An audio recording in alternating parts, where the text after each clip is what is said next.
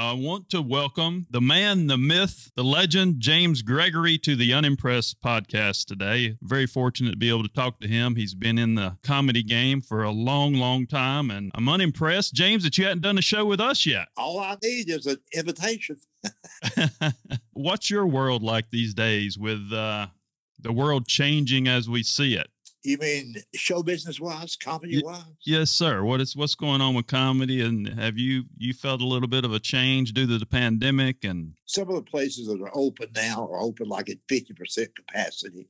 I do theater, small theaters, and they're usually controlled by the city, the county, or the state. So some of those shut down completely, you know. And now there's some that are, have reopened at 50% capacity. I've been doing shows sporadically the past several months but very infrequently. That's kind of how we've been because it seems like the rules change every week. You know, it's like we've had some shows that, you know, have been sitting there a go, go, go. And then all of a sudden, you know, the capacity will change. And next thing. I know, we have to move the date or cancel the shows. It is a little uh, different out there right now. And very, it's very frustrating, you know. And, in the cases like some of these shows that we've done, like just uh, several weeks ago, we were in the, at the Opera House. It's a 500 seat venue. And we usually sell out these shows ahead of time. Mm-hmm. So what we did, since it was 50% capacity, we did a second show, like a matinee show in the afternoon. So we had two shows instead of one for the same number of people. What states are open with theaters? Because a lot of the theaters I have approached, they're reducing more capacity or they're closed, either or. So, what states have you been to where they are functional? At the time, like some of them were closed down completely.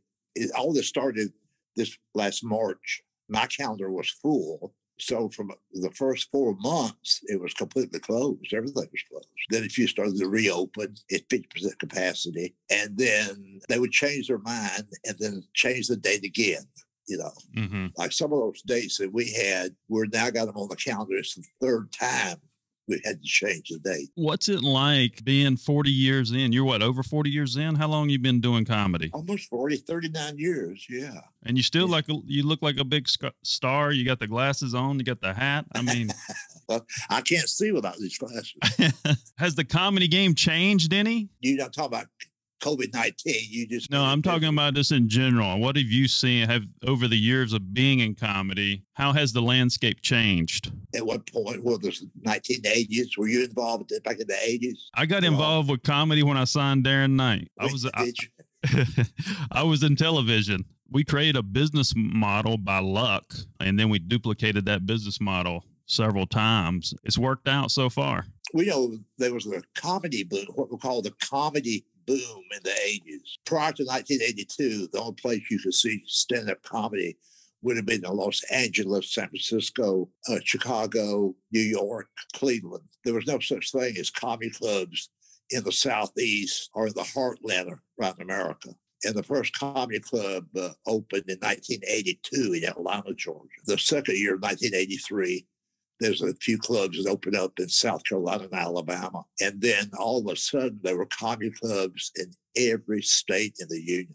A lot of people may not know this, but at one point, mid to late 80s, nationwide, there was over 450 full-time comedy clubs in the United States. So, wow. and I, like most comedians, I started my career as the MC, as the opening act. And I had a five-year period of time 1984 through 88, where I did 48 to 50 weeks a year. They were about six cities in the state of South Carolina, five or six cities in the state of North Carolina, you know, and now as time went on, some of those clubs kind of just, I guess, went away. Mm-hmm. There's still comedy clubs out there, but not as many as they used to be. I didn't know there were more back then. Of course. Yeah, absolutely. Plus, I thought there was so much work, you know, as far as the comedy club business is concerned. The numbers dwindled so I had to change a marketing strategy. So I started self promoting at these theaters, you know, instead of a comedy club. Now, the point that I've been doing for the past 20 years, for example, I still do a few comedy clubs, the ones that I've been with for 35 years. It's funny you say that because that's what me and Darren did when we first started but we didn't know what we are doing. I guess I rolled the dice and just started renting theaters and see if they would sell. And he sold them and I set them up. So I understand that that's, that's somewhat of a gamble in today's time. But see, a lot of these, uh, and I don't want to sound like a like an old timer that, that I've been around too long. And a lot of people really don't realize how popular the comedy club business was in the 80s and 90s. The people who are big stars now, who have a sitcom, people like a Jay Leno, people like Jerry Seinfeld, people like Tim Allen, Roseanne, all those people. See, I crossed their paths when they were on the road too. When I first met Tim Allen, he was a feature act making 600 bucks a week. When I first met Dennis Miller, it was in Columbia, South Carolina, and I was the MC. Dennis Miller was the feature act, and Dave Coulier, who became a big star on that sitcom called Full House, Uh-huh. he was the headliner. That's how popular the comedy club business was.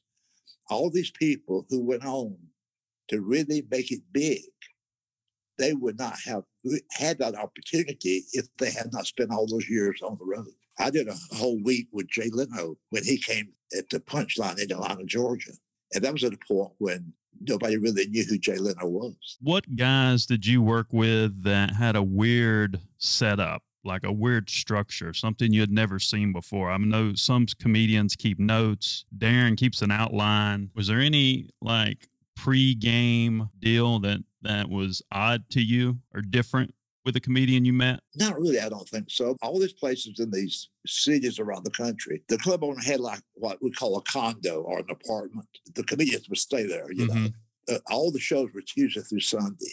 When I talk to some of the young comedians today, it is hard for them to really realize what we had to do to become successful and stay in the business because there's a lot of work. Because, see, all the comedy clubs were open Tuesday through Sunday. You did two shows on a Friday, three on Saturday. So we were doing nine shows a week. The first time I made my trips to Tulsa, Oklahoma, and Oklahoma City, for example, and that's where I first met Steven Wright. But I was being paid 400 bucks a week, did nine shows, and see, I had to take care of my own travel.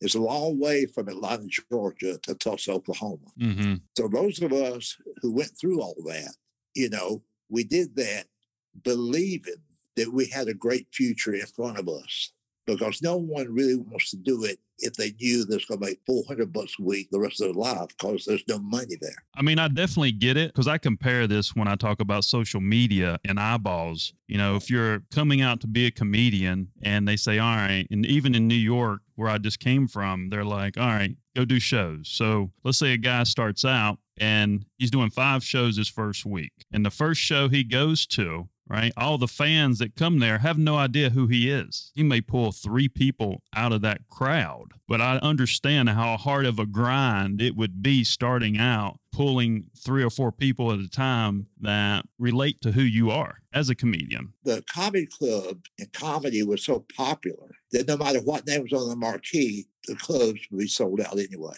Gotcha. That's how popular comedy was in 1982, 1983, 1984, 1985. A lot of people don't really believe this, but it's true. And we talked about this just recently. When the Punchline opened in 1982, the capacity was 290 people. They did nine shows a week. Every show was completely sold out for the first two and a half years. wow. No matter who was the headliner, it didn't matter. It was comedy. That's somewhat like your social media, but there were there were live bodies today. Right. Here's the difference between now and then. I think for longevity, you got to have, there's so many, there's hundreds and hundreds and hundreds of comedians that used to be what I call used to be. They used to be comedians and now they're doing something else. Or they still do comedy sporadically because they have a regular job doing something else. To stay in the business in the comedy world takes a lot, a lot of work. I think the mistake a lot of guys make, especially some of the young guys, I learned this decades ago. The worst mistake you can have is trying to become a star. Now, we all want to be a star. We all try. We audition for the Tonight Show. We audition for the Letterman Show. We all want an HBO special. But all of us are not going to be selected for that. So you kind of have to build your brand. You build your own reputation. And I did it city by city. I may not be well known in Los Angeles, but I'm a big star in Charlotte, North Carolina. I used to go every six months, and now I go, I do the theater now. I go once a year. In no way am I trying to uh, brag or anything like that at all. But I've been selling out my shows in Charlotte for 36 years. And see, that's the secret to success is to be in a business. Your business is still good. People know who you are. And then when you show up the next time, they'll show up also. And I know some comedians, and you probably do too, and I'm not going to name them because some of them are friends of mine mm-hmm. who have actually been on the David Letterman show more than 40 times. Imagine that. And they're in very rough financial shape right now. They cannot sell a ticket. Nobody knows who they are. Stardom is what we all strive for. I wish I was a bigger star.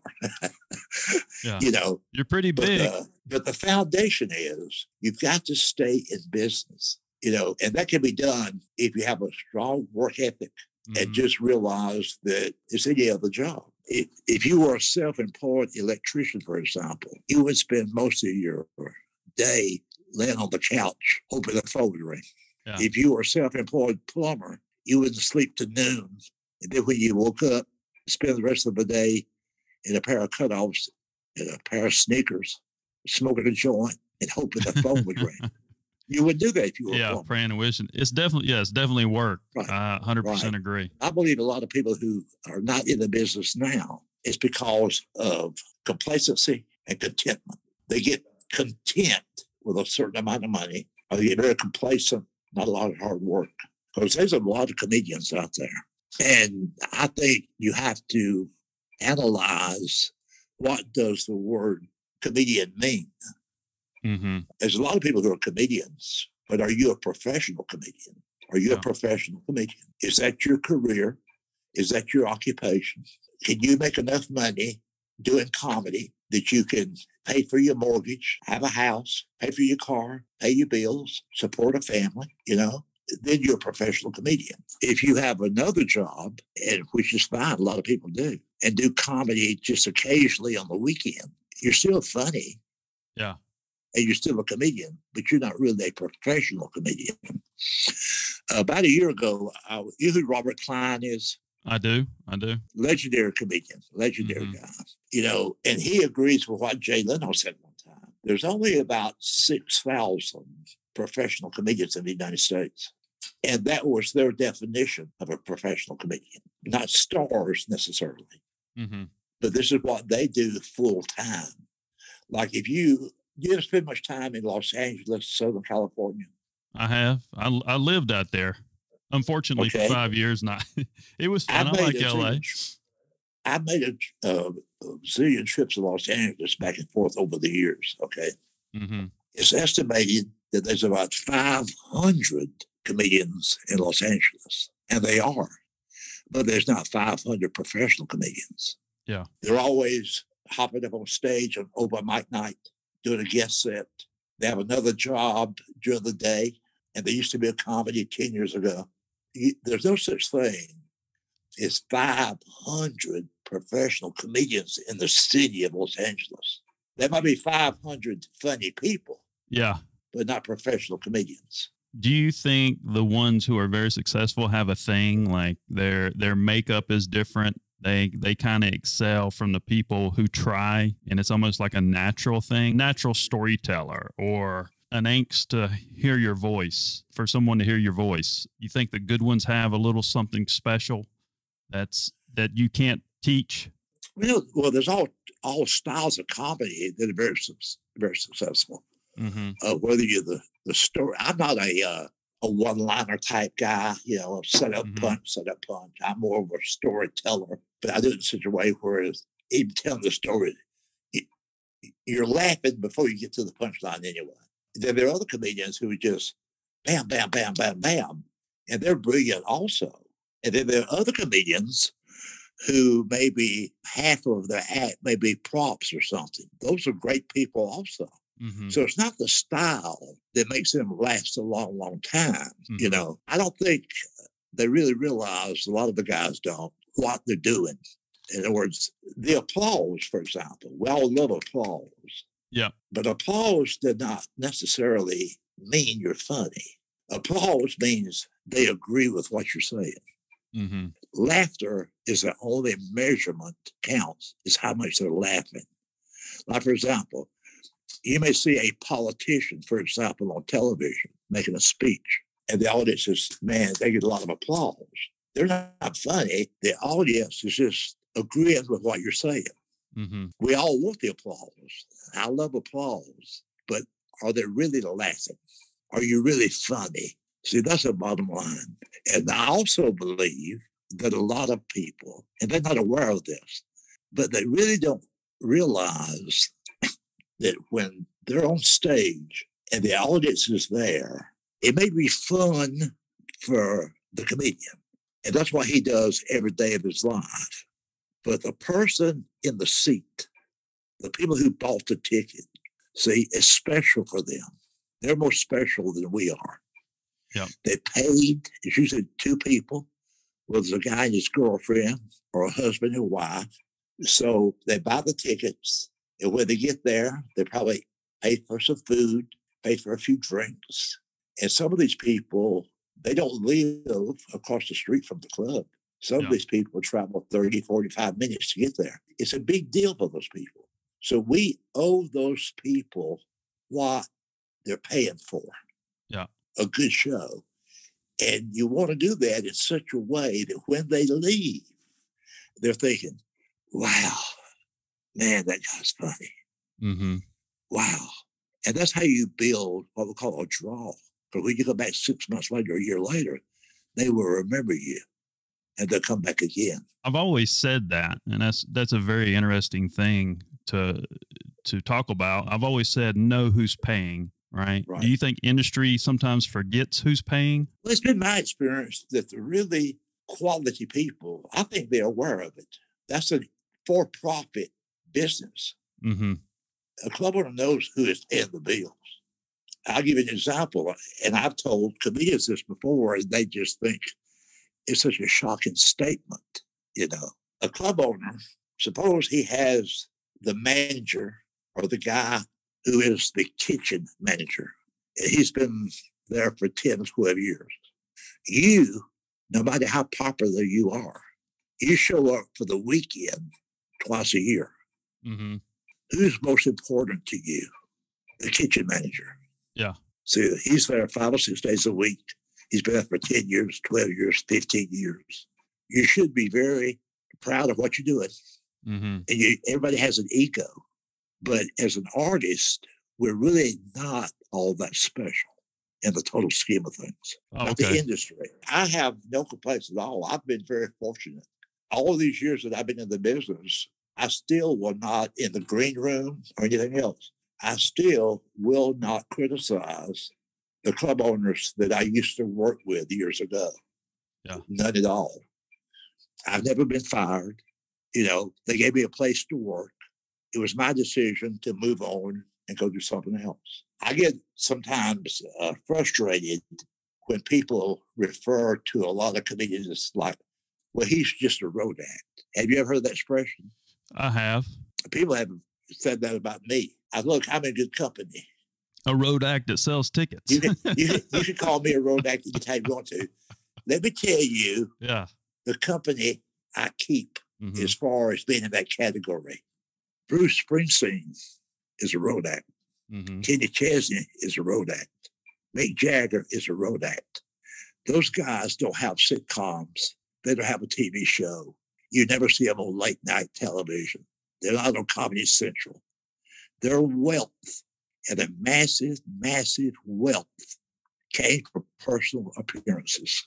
Yeah. City yeah. to city, state to state, from one civic center to some stadium, amphitheater. So if you want to call James Gregory a road act, mm-hmm. I appreciate the compliment. Dorfman uh, painted your picture on the building, didn't he? Yes, he did. That's pretty cool, right? You know, I, yeah, I think most of us, not just comedy, I think a lot of us, we're probably all guilty of this sometime. We probably complain more than we should sometimes. Mm-hmm. I don't mention this on the radio or uh, on stage, but just with the four or five close friends that I know in the comedy business. Imagine how fortunate we are to be in the business that we're in. Yeah, I mean it's a very Imagine a that. very small You, you, community. you start off, whether it was 10 years ago or 40 years ago, and you're thinking you probably, chances are you're not going to make it. hmm You're barely getting by. Nothing's happening, but you want to be a comedian. hmm And then as the years go by, well, look around. We're still here. Yeah. Doing what we want to do, making a damn good living. Uh, a lot of us are financially secure, still doing what we wanted to do and what we planned to do 20, 30, 40 years ago. So to be blessed like that is a privilege. It's a privilege. Absolutely. You know, having this long career, what do you do outside of comedy? Do you have something that takes your mind away from comedy? I'm not just obsessed with it 24 hours a day. Mm-hmm. I have an office in my home. I also have an office uh, downtown Roswell, which is a suburb where I live. The lady that runs my office, we're open for business 9 a.m. to 6. She's been on my payroll for 27 years. Wow. The phone's always ringing. We have a mail order business. She takes all the calls. As far as social media is concerned, Mhm. I'm almost ignorant of all those things, you know. But I have a huge following on Facebook. I have three quarters of a million followers on Facebook. And we get a lot of emails and we get a lot of people on Facebook. And I make sure that all those people get an answer. I don't personally answer those, but I make sure that they get a reply on any question they ask. Has somebody ever documented your story? Like I did a documentary or a docu series on your life. Oh no, I don't know. I think somebody needs to do that. Well, no, I think for to have people do a documentary, they probably concentrate on people who are kind of what we call either a national or worldwide star, which is understandable, you know. Not to sound too businesslike, I tell everybody in the comedy business, if they ask for my advice, is you should quit using the word fans too often. Like I have a, my fans, the fans, my fans Uh huh. subconsciously, you should treat those people like they're customers. Mm-hmm. You know, you need customers and you need repeat customers. Mm-hmm. You'll stay in business till the day you die. Mm-hmm. One thing, too, that is a mistake that a lot of comedians make. It's not a mistake. The greatest compliment anybody can get is when people in the same business respect you. We like to be respected by our Mhm. peers, you know, Mm-hmm.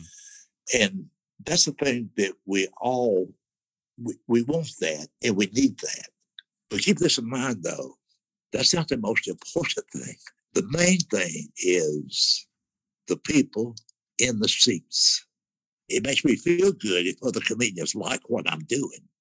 But quite frankly, I don't really give it any thought. I don't care whether they like it or not. The reason I said the documentary, you know, if you did something on your life and you did it the right way, I think it could be something like an education for the comedy world, you know, because you're putting a lot of good information out there that I think people need to hear, especially comedians, comedians coming up, young people. I don't know if there's anything out there like that, with like a real story that's educational. That's a good point. Maybe they don't. And sometimes I have a tendency to talk too much about the business. No, that's great. It's even, great. even even the friends that are real close to me, sometimes I'll be going on and on and on about the business, Mhm. you know, and I just tell myself, look, I, I can't control myself. Once I start talking about the comedy business, I can't I can't shut up. You Mhm. know, I'm bored if I'm spending time with other comedians if they're always doing the act. I don't want to hear the act. Yeah. I love being around funny people, but just being funny naturally Mhm. and talking about the business and things like that, you know. So there's uh, some of the best people I've ever known in my life. But I met those people in the comedy world. There's a lot of great people in the comedy business. Yeah, there is. A lot of great people out there. I don't mean household names. I mean just a lot of great people. Mm-hmm. There's a lot of talent out there. My frustration sometimes is to be around someone and I know that they're funny I know they got talent. I know they're in good health and they're wasting all that time. They're just Mm-hmm. wasting time. Mhm. And sometimes, even if they're not dear friends, I just feel like sometimes kicking them in the ass. Do you realize what opportunity you're missing? Yeah. You're a young man, you look good, you got talent, you got ability, but you are one lazy son of a bitch. I know exactly what you mean. I mean, it's uh you got to you got to work on your craft. I mean, 110%. And I don't know if it's a insecure thing, the ones that do that. It's almost like sometimes the comedy's too easy for them and they and they kind of run from it away. How would you fix something like that? I think it's because they've always had a what I call a safety net. Like in other words, they don't have to work too hard because if they get in trouble financially, their girlfriend or their wife will help them, or they Yeah. can borrow some money from uh, their dad, or Mhm. you know, everybody these days either have an iPad, they got an iPhone, anything's on an iPhone. Go into any supermarket, whether it's Kroger, whether it's Publix, and you go shopping because you got to buy some groceries. You got to get food in the cabinet. Mhm. And when you get to the checkout line, have your iPhone there and let that cashier know that you're a big star. You better let them show, show her. And she'll smile. But I'm telling you right now, she still will not let you get out of that aisle without paying for those groceries. Yeah. You got to pay for those groceries. Now, I know that that's not necessarily to make you feel good, but keep that in mind every day as you're trying to advance your comedy career. Sure, you want to be funny. I know comedians, believe it or not, still spend all this time writing new material. And that's great. I'm kind of envious of that because I'm not a great writer myself. But if you're not getting booked and you're not working, you should be doing something besides writing new material. Mhm. You should be updating your website. You should be contacting someone, call some people, you know, do something that gets you on that stage. Everything starts on the stage. You've got to get booked. You've got to be at some venue, some comedy club. It's great to sit around with our peers and talk about how funny we are. And I just got this new bit because that's a good conversation. I love being around comedians, by the way. I love it, you know, because see, that's fun. It's fun when you talk that way. Yeah. The part that's not fun is the business end. You got to do the work. Yeah. And once you do the work, and then you can afford to have all the fun you'll ever need. Mhm. You got to make a living. You got to stay in business. You can take any comedian out there today, the ones that are household names, for example. It's legendary about Jerry Seinfeld, about his work ethic, you know, about what he does, what he does every day, how many hours he puts in. There's a legendary story about, remember George Carlin? I do. Yep. Oh, God, one of the all time greats. Mhm. he had a a clock like you know when you go to a factory where you punch in and punch out. You know what I'm about? Yeah. He had one in his office at home. He'd punch in Wow. at 9 a.m. He'd punch out for lunch, punch back in, then punch out at the end of the day. He'd do that for three days a week, Mhm. see? And he would use that time to write his next show. He had to treat it like he was an employee. And the week that I had with Steven Wright, I was so impressed with him because I get up kind of early, earlier than most entertainers do. Okay. you know, because most of the guys in the condo, I get up early and they'd be up to afternoon. So no matter how early I got up, Steven Wright would already be up. And so at that time, remember he made that big, big splash on the Tonight Show. Remember in 1982? I have I think I have that clip. I had that clip yeah. in uh, Darren's documentary. I did. Yeah, and and he did that so well they wanted him back a week later. I think it was a week later. But anyway, but he chose not to go to a hotel. He wanted to spend the week at the condo with the other two comedians, and I was one of those two comedians. Now remember, this is back in the mid '80s. All this modern technology was around. There's no cell phones. There's no internet, anything like that. So no matter how early I got up and walked into the living room, he would be sitting in the living room on the floor in what I call the Indian, like, like Indian yeah, style. Indian style. Know? Yeah. And he had this cassette player, the old cassettes. Mm-hmm. And what he had done, I found out what he was doing. He would tape all his shows at the com- at the comedy club that night. The next morning, he'd get up, he put that cassette tape. Okay, he sat there, he got the legal pad, got a pen, and he's listening to his act. He's writing stuff that he would hit stop, hit replay, listen to it again, write something down. And that was Steven Wright. He'd already been on the Tonight Show twice. But there he was at eight o'clock in the morning, going over that whole show and making his notes and correcting stuff. That's a big lesson that people should learn. That was him taking care of business. Mm-hmm. That's what he's doing. That's what you call a work ethic. It's a work ethic. You would be surprised whether you're in a, the comedy world or any other occupation. There is no replacement for hard work. If you can learn that hard work, it will not kill you, it will not hurt you. Hard work will make you extremely, extremely successful. Mm-hmm. And I think in the comedy world, a lot of guys, they're missing that. They kind of miss that. I agree. It's like, hey, I'm funny. Look how funny I am. I got all this applause. Hey, hey, hey, blah, blah, blah, blah, blah. Mm-hmm. You know, but you have to have that business side also. If you're in that stratosphere, if you are Jerry Seinfeld and you are Jay Leno and you are Ray Romano and you mm-hmm. are Chris Rock, we got to work that hard. Mm-hmm. I mean, they'll pay you half a million bucks just to show up. All you got to do is show up because mm-hmm. you're that famous. But for the rest of us, we need that little extra kick in the ass. Yeah. So we need that kick in the ass, you know. And most people don't want to hurt your feelings. They will not kick in the ass. So you have to learn to kick your own ass. Yeah.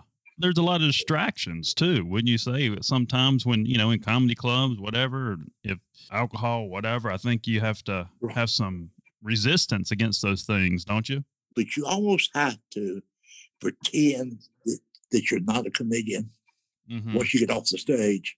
Just pretend that you're an electrician and just pretend you're a plumber. Now you get off work. Would you stay at the workplace and drink for two or three or four hours? If you work at the post office, for example, your shift is over. You punch out. Yeah. Most people will they'll be in their car in five minutes. They want to get away from work. See, I know it's a very temptation, but if you can do that, I'm off work now. Mm-hmm. I got to get out of here you'll stay out of trouble and you'll save a lot of damn money. You know? yeah. I, what I've always done over the years, the show is over. We go to the Waffle House, mm-hmm. go to the truck stop, and talk for hours. We talk till the sun come up. You know, I love that. But I've always been bored hanging around at the bar. What's your shoulders with? And I shake hands with people and oh, I won't get out of there. yeah. Yeah. Do time, you time to go home? What's your favorite place? Is there a place you always look forward to going to? You know, I'll tell you why uh, that I don't answer that. But I have been so fortunate and so blessed to go to so many places and make a good living. And some of those places I still go to. I think I would be insulting some of those people if I selected one of those places that's my all time favorite. At this point in my life, anywhere I go, I'm going somewhere Well, I'm looking forward to going. I don't have to go anywhere I don't want to go. So all these places that I go to, I really love it. I've been going to Birmingham every, it started up in Birmingham. Yeah. Every six months since June of 1983. I've been going to Zanies every six months since 1984. And I love those people. I love the club owners. Yeah. I love the staff. And most of all, I love the people who keep showing up to see the show. So it's just to pick out one, I think it's kind of insulting to other people because I just love all those places. In the course of my career, I've performed in 38 of the 50 states. I've done a lot of shows like that, back in the 80s, especially early 90s. I made a lot of trips to Portland, Oregon, Seattle, Portland, Oregon, and Seattle, Washington. I've done some shows in San Diego. I've done a lot of shows in Chicago. I did a, made two trips to Buffalo, New York. Mm-hmm. Been through Canada twice. So basically, I've enjoyed all of them as far as seeing the country, meeting new people. But then as the years went on, and I got busier and busier, but all the places I went to was quite an experience. Does your set vary based on where you take? Is your is like a rolling set or well, what's uh, the time? As I, I usually have one guy with me that does 20 minutes before I hit the stage you know, back in the comedy club days, the glory days, the format was it was always a three man show. It was a opening, he's the MC, the feature, and the headliner. And I was the first guy ever that talked a club owner into making it be a two man show. Okay. Let's, let's have a two man show. Let's forget about the MC. Let's get a feature act so I can do have more stage time. Ron DiNunzio, who owned the punchline, he said, Well, let me think about that. so he thought about it. He said, well, let's try that and see what happens. So I started doing a two man show instead of a three man show. So to answer your question is, I'm always on stage because the first guy does 20 minutes. Mm-hmm. So I'm always on stage a minimum of an hour and 15 minutes. Just just start your business, create your business. Just count your blessings. A lot of us sometimes we just don't. We take things for granted.